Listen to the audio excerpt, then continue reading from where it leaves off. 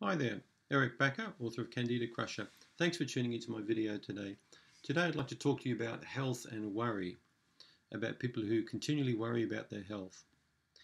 When you've been in the clinic a long time and seen many patients like I have, you end up seeing lots of people who worry excessively about their health. It's not uncommon for somebody with a chronic yeast infection to come in and be very concerned about their health. So, question I've got for you today have you had your spray free, organic or biodynamic, no caffeine, no gluten, high protein breakfast today? Have you exercised for one hour today? Cut back on saturated fat? Taken all the dietary supplements? Trying to live a perfect lifestyle yet don't feel too good? Have you noticed how many e-zines there are and web columns and television programs that, which I call the health police? And these are people there that basically want you to have the most amazingly healthy lifestyle. They really zoom in and focus on, on your health to a quite a high degree. And many people can actually develop anxiety disorder uh, or continual worry from their health. They worry about everything they eat. They worry about electromagnetic pollution. They worry about everything. In fact, this worry ends up becoming a disease in its own right.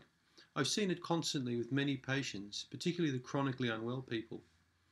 I remember when I was growing up, we had a family member who my mother used to call a hypochondriac.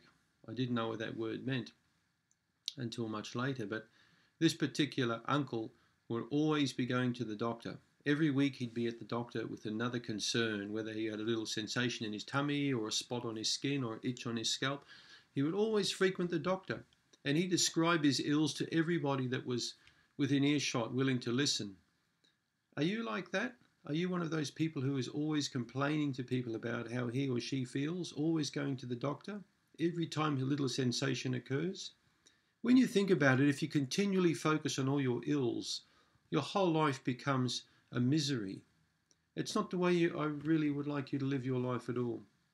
So try and, and be careful of the health police because they can take a lot of fun out of your life. So I believe in quality of life. And when the quality doesn't exist to be there anymore, perhaps there's no point having any life. So, you know, why would you want to live a vegetable at 95 years of age? It's, you know, that's something that you want to have a, good think about. So the quality is what we're concerned about.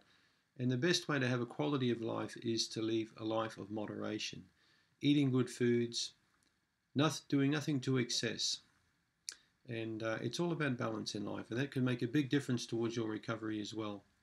One of my favourite sayings by a very clever man many years ago was that common people ascribe their ills to everybody around them. People of less wisdom, people who aren't very wise, they ascribe ills to themselves. But people of much wisdom ascribe their ills to nobody. They don't talk about their ills, they get on with their life. They get checkups if they're concerned, but they don't become excessively worried about their health.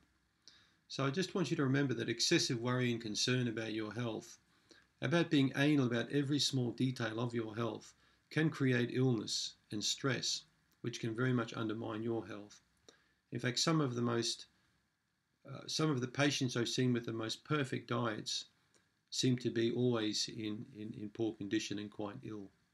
And that's something to think about. So I hope that's a bit of food for, food for thought for you today. So stop worrying about your health and get on with your life. And let's just see what happens. Thanks for your interest in tuning in today.